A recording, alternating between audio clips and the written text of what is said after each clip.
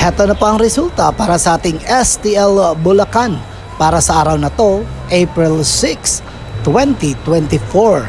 Third draw result. At hayan po ang resulta sa ating STL Bulacan third draw result. Don't forget to subscribe Purple Green TV.